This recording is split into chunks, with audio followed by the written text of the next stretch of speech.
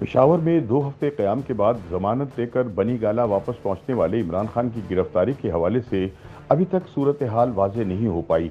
एक जानी तहरीक इंसाफ की क्यादत का कहना है कि हुकूमत ने इमरान खान को गिरफ़्तार करने का मनसूबा बना रखा है और इसीलिए उन्होंने पिशावर हाईकोर्ट से राहदारी जमानत हासिल की है। दूसरी जानी वज़ीर दाखिला राना सनाउल्ला का कहना है कि 25 जून को जैसे ही इमरान खान की राहदारी जमानत खत्म होगी, इनकी सिक्योरिटी पर तैनात अमला ही इन्हें गिरफ़्तार कर लेगा।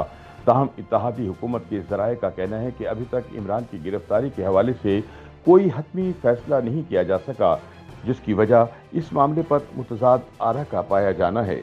हुकूमत अभी तक ये फैसला भी नहीं कर पाई कि आया इमरान खान के खिलाफ फौज और रियासत मुखालिफ बयान की वजह से गद्दारी का मुकदमा दर्ज किया जाए या इनके करप्शन केसेस के हवाले से कार्रवाई की जाए।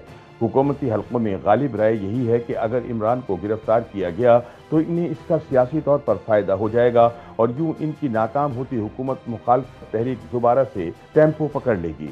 दूसरी जानी पिशावर में दो हफ़्ते के क्याम के बाद बनी गाला वापसी के बाद इमरान के हामी इनकी गिरफ्तारी की मुमकिन हुकूमती कोशिशें नाकाम बनाने के लिए इनकी रिहाइशगाह के बाहर हिफाजती हसार बनाए हुए हैं।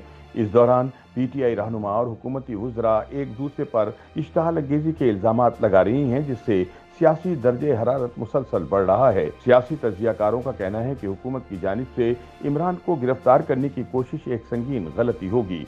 क्योंकि इससे सियासी दर्ज हरारत में शिद्दत आ जाएगी। सबक वज़ीर इतलात और इमरान खान के करीबी साथी फवाद चौधरी का कहना है कि अगर इमरान को गिरफ़्तार करने की कोशिश की तो हुकूमत को सख्त मजामत का सामना करना पड़ेगा। उन्होंने बताया कि इस वक्त बनी गाला में ऐसे कारकुन बैठे हुए हैं जिनको ना तो अपनी जान की परवाह है, न किसी और की बात की परवाह है। वो अपने कप्तान की खातिर लड़ने मरने के लिए तैयार हैं और हर हालत में इमरान की हिफाजत करेंगे। क्योंकि वो 22 करोड़ आवाम का निजात दहिंदा है, जो करप्ट माफिया के खिलाफ अकेला जंग लड़ रहा है।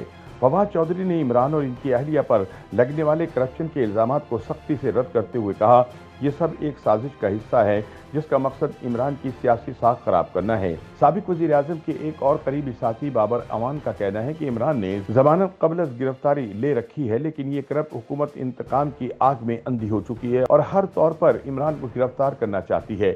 उनके मुताबिक हमें खदशा है कि यह हुकूमत इमरान के खिलाफ जाली मुकदमा दर्ज कराएगी और फिर इनका बहाना बनाकर इन्हें गिरफ़्तार करने की कोशिश करेगी, जो आवाम किसी सूरत भी बर्दाश्त नहीं करेगी और हम इसकी सख्त मजामत करेंगे। दूसरी जानब हुकूमत का इल्ज़ाम है कि इमरान की करप्शन खुलकर सामने आ चुकी है और अब इनके पास बचने का कोई रास्ता बाकी नहीं रहा।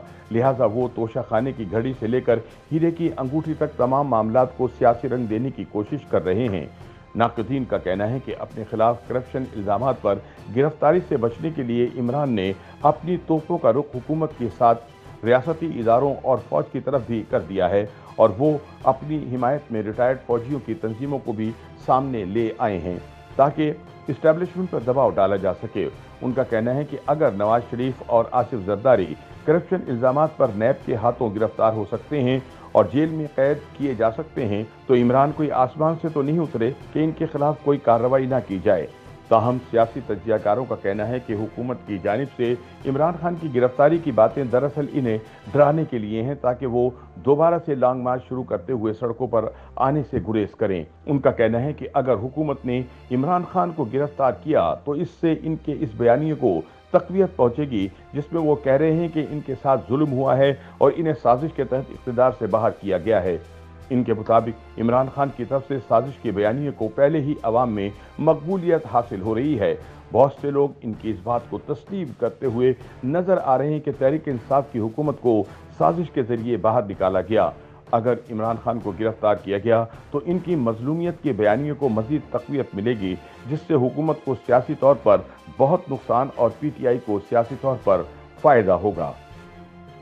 YouTube पर गूगली न्यूज़ देखने के लिए YouTube.com की सर्च बार में गूगली न्यूज़ टीवी टाइप करें। गूगली न्यूज़ के पेज पर सुर्ख रंग के सब्सक्रिप्शन वाले बटन पर क्लिक करना ना भूलिए। YouTube पेज पर अपलोड होने वाली वीडियो से बाखबर रहने के लिए बेल आइकन पर क्लिक कीजिए। आपको हर नई वीडियो के बारे में नोटिफिकेशन मौसू हो जाएगा।